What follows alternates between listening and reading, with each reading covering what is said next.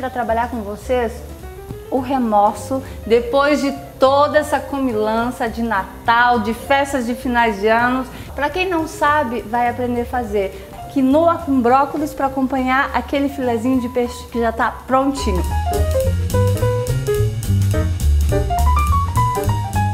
Alinho, limão siciliano, brócolis e quinoa.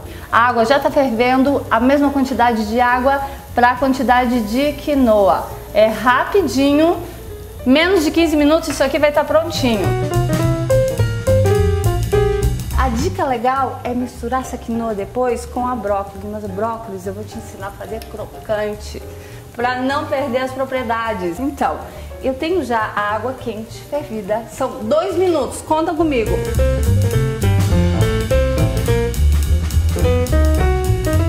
Outra dica importante, não colocar sal no brócolis. Em nada que seja verde, coloca sal enquanto estiver cozinhando.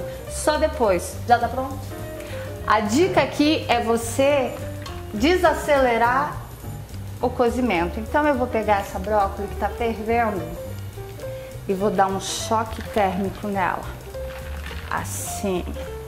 Esse choque térmico, você simplesmente coloca uma vasilha com gelo, acrescenta água fria, tira e coloca diretamente.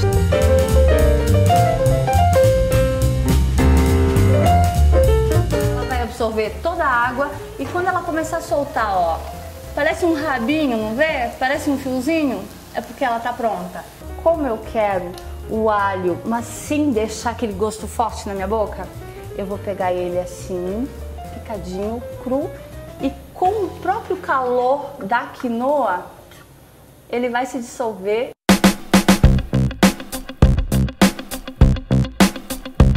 Vamos dar um